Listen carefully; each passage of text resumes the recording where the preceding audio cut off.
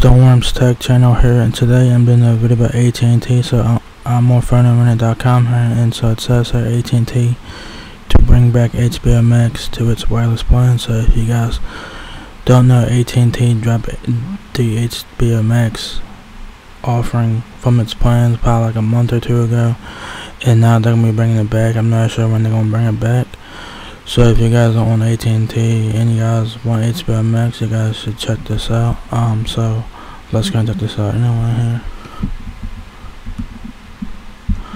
Uh, so it says here AT&T quietly removed the HBO Max free offering along with the unlimited elite plan back in June, probably due to financial reasons.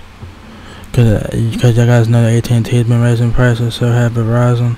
That's probably why the uh AT&T got rid of the HBO Max free offering because there was like raising prices and stuff like that. So, yeah.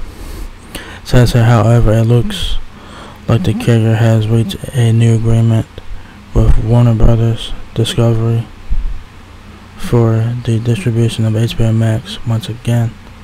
So, oh, that's pretty cool.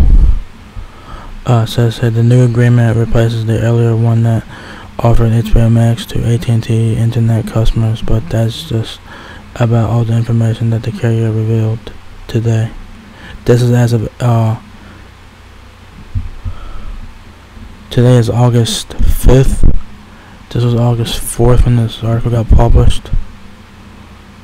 Um, and AT&T official states that th this adjusted agreement represents an important step in positioning both AT&T and Warner Brothers Discovery for continued success, end quote. Says the announcement doesn't specify when AT&T would bring back the HBO Max free offering to its wireless plans or home internet options. It's also unclear which version of the HBO Max plan will be offered by the carrier. Probably the ad, probably the ad-supported version, which is 10 bucks a month. So,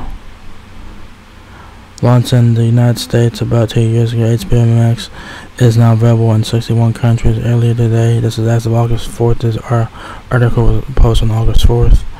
Says the company announced that HBO Max and Discovery Plus will be merged in the U.S. sometime next summer. So, uh, that'd be pretty interesting. To stay tuned for that. So, uh yeah, I guess if you guys are on AT&T or in, and you guys like HBO Max, uh, AT&T is bringing back HBO Max offering to its wireless plans. I'm not sure when they're going to do it. I'm not sure what tier that they're going to be offering. Probably the ad-supported tier, which is ten dollars, and they also have, have an ad-free tier, which is fifteen bucks a month for HBO Max. So I'm not sure which one they're going to uh, be offering. Probably the ad-supported version, like I said. So not bad you know, not bad for a free offering of HBO Max. Was it um, was it, uh, what's it, uh, what's HBO Max is pretty cool. Um, I tried it out for a month and it was pretty cool. So, um, yeah, so good job AT&T for that, and I'm sure that a lot of customers are probably happy about this as well. Um, so good news from AT&T there. So, if you guys enjoyed this video, give me a thumbs up, guys. If It help me out a lot. Please rate, comment, subscribe. Thank you very much for watching my video, and I will catch you guys in the next one. Peace out.